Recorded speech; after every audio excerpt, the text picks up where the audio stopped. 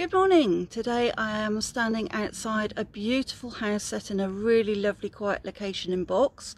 This is a three bedroom semi-detached on a road called Barn Piece. It's tucked away just off the box, um, off the Hazelbury Hill, sorry, and is really close to all the local walks, but also very close just to pop into the town centre. Um, it's really nice and quiet up here. It's got beautiful views. I'll turn around and show you those in a moment. Um, it's got the benefit of parking for one car at the front, but with further parking up the road. Um, I'll tell you more about that as we go inside, um, but let me just swing around the camera so you can see the views. So you can see it's a bit of a misty day today, but we have got beautiful views across the Box Valley at the front. Um, and I will now take you inside the property and see how we go from there. So coming through, we have this lovely stone built property here beautifully maintained throughout at all times. It's absolutely lovely. Nothing to do. This one has been on the market before. You may have seen it before with another agent um, but unfortunately the vendor had had been persuaded to put it on for a much higher price than probably it was worth. And so now we're at a level where it's much more sensible. And I would like to think that a lot of people will be very interested in having a look at this now. So coming into the living room, Beautiful room, lots of character, lots of light from the front here, where you've got those lovely views over the front of the property towards the valley. You can see just through the window there, there's the parking for the car at the front. You've got a little front garden area and then swinging round just to show you an absolutely gorgeous Victorian style gas fire. Um, and then coming in and around again You've got open plan into the little extended area. So this is larger than most of the properties up on Barn Piece. Um, it's got a really lovely recessed area here with feature lighting and plenty of space for a good sized sofa and a couple of chairs. Coming through into the dining room area. Now this area was extended and so it's eaten into a very large garden so it's making absolutely no difference whatsoever to the size of the garden. Beautiful room again loads of character really nice wood floors little bit of a quirky curved wall just on the right hand side here which gives you access to a small and useful especially at the moment study area. Looking out through the back which we will go out to in a moment you've got a really lovely long extended garden which goes right up to the top and you really need to go out there to appreciate the views at the back and how lovely and secluded that is. Just panning on background, you can see that it's all open plan through to the living space, so it makes a lovely, nice open plan feel. Now I'm going to take you through into the kitchen area. As you see all these lovely, beautiful um, wood doors. So nothing too simple and straightforward here. It's all got loads of character. You've got lovely kitchen, beautifully finished to a really high specification. You've got lovely fitted units, a nice square edged worktop, beautiful glass splashback where you've got the um, double oven, uh, four ring hob and hood. So like I say, all very high specification. Lovely ceramic sink, overlooking the garden area.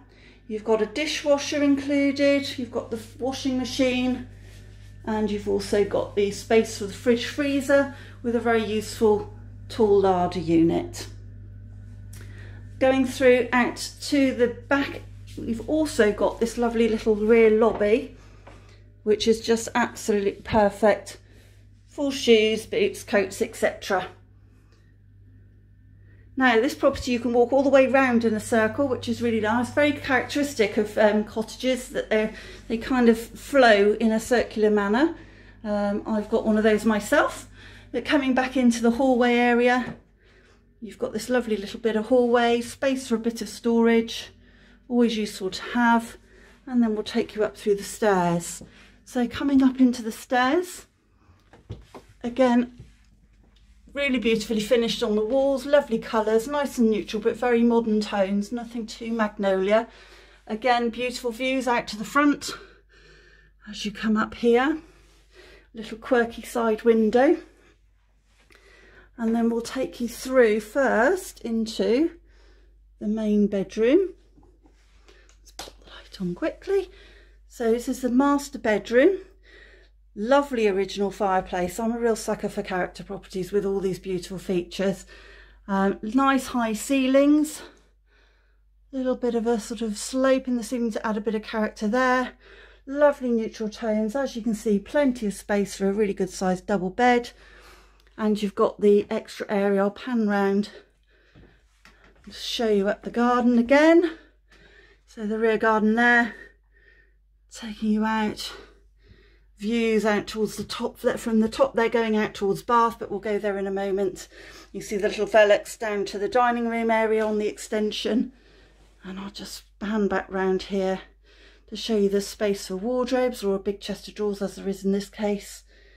And just, again, like I say, bags full of character, lovely beautiful rooms and really nicely set out so the two the two other rooms are on the sort of large single to small double size. Perfect for two children. Good enough good enough size no little tiny box rooms at least. But you've got this one set up mainly as a dressing room. So we've got a very large set of wardrobes there.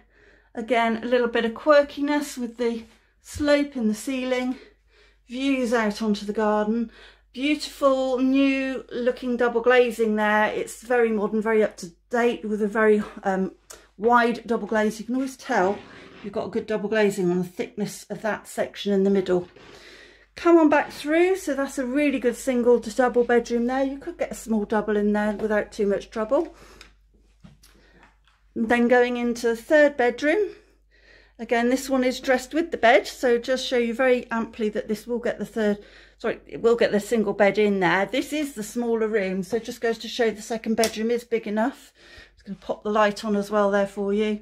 Again, a little bit of quirkiness with the um, with the slopes in the ceiling, beautiful doors, nice neutral carpets throughout nothing to change at all when you move into this one apart from you you know maybe if you wanted to change this color scheme to suit but absolutely i love it again absolutely stunning views out to the front there wish it was a nicer day you'd get a much clearer view of that again and then coming back through last but not least on this level you've got the bathroom i'm going to find the light which i should have put on first there we go, that's a little bit better. So you can see really nicely appointed bathroom, lots of neutral shades, so there's nothing that you would want to change immediately. Nice shower over the bath with the shower screen.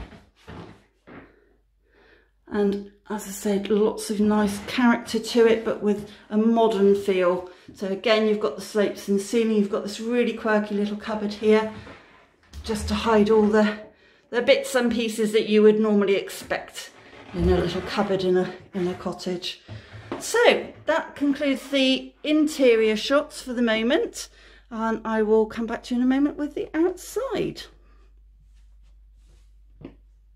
Now going to take you out into the rear garden to show you how quiet and how extensive this area is. Um, it's a shame it's such a gloomy day but just to show you first off we have this lovely patio area here with side access round to the front. Obviously pretty useful to have. And then as I pan back round, you can see the door into the little rear lobby area. But just look how long that garden is. And just listen to how quiet it is. Apart from me rabbiting on, you, all you can really hear is the sounds of the birds. So coming up the steps, you've got this first area of lawn here very private, surrounded by mature trees and shrubs. A little bit of a hint of the views that way at the moment, but you'll see better in a moment as we go up the garden. So going up the steps, you have got this superb raised patio area as well. This very large um, stone table and seating the owner has decided to leave so it'll be a bit tricky to get to move it on now. So this is a lovely feature of the garden that will all be staying as well.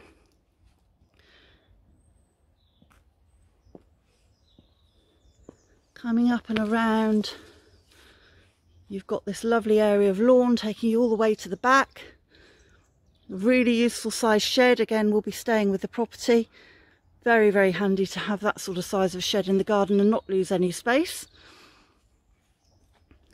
Again, more seating areas. And you can see we're getting a bit closer to the views now. Just so quiet. Such a pretty location. So worthy of a viewing.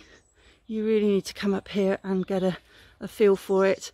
And then last but not least, the decking area. So right at the top of the garden, you've got the rear gate there just out to the back. But just to come up here and pan back round and show you the open air, open aspect that we have at the back here and the fabulous views we have over the Bybrook Valley again wish it was sunnier to show you those in a better manner. And just panning back round again to show you the distance of the garden. Just looking back on the property just to give you a feel of how long this garden is. And just to finish off really just to say that this is a lovely property set in a really really popular village. Perfect for a single person a couple small family um, you've got the excellent school, you've got lovely amenities. As I might have said earlier, the music scene in Box is particularly good with excellent local pubs. You've got a couple in the village, an excellent Indian as well. Top of the hill, you've also got um, beautiful views from the Quarryman's Arms.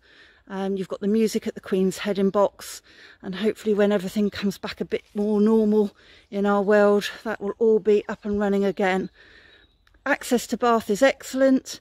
Access to Corsham is great. You've got lots of local amenities nearby like the little local butchers. And just to recap, you really need to come and see this property. You may have seen it on the internet before, but now is the time to come and have a proper look. Um, we can do Zoom viewings, but I can also do in-person viewings at this time.